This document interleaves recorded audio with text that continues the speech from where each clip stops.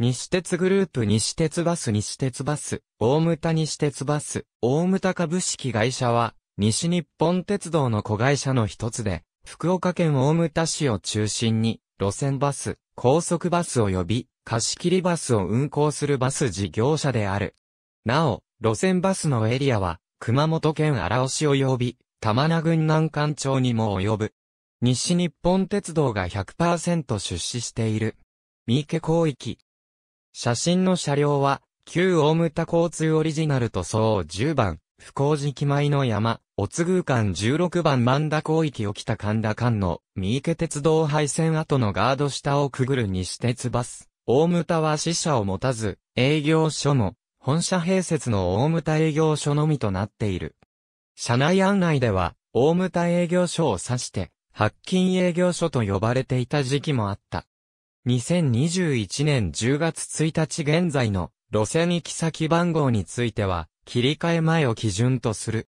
大牟田市内線前の山、黒崎団地線上幹線吉野線グリーンランド線、イオンモール、大牟田線帝京大学線、ペイペドームリンジマリンメッセリンジアラオ福岡、空港線アラオ、大牟田福岡空港線標準床の4列シート車が使用されている。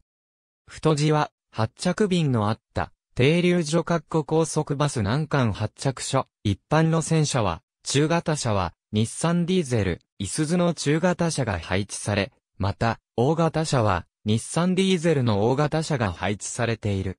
以前は、日野の大型車だけでなくイスズの大型車も多く、存在していたが、福岡、久留米地区の営業所から来た車両と入れ替わりにた、営業所へ転属、または、廃車となった。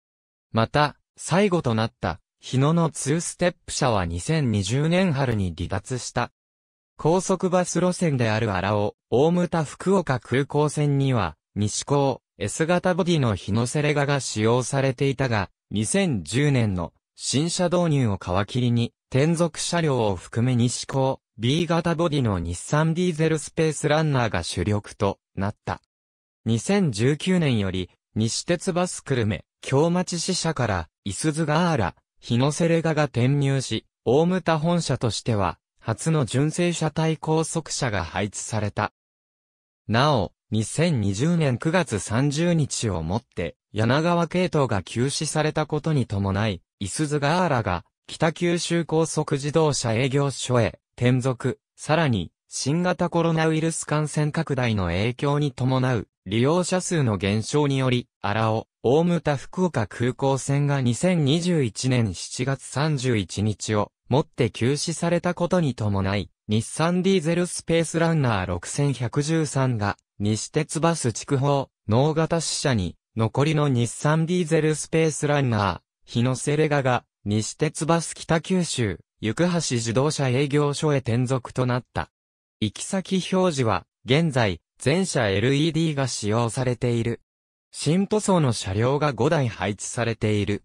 貸切車は、イスズ、日産ディーゼル、日野セレガ R が配置されている。ありがとうございます。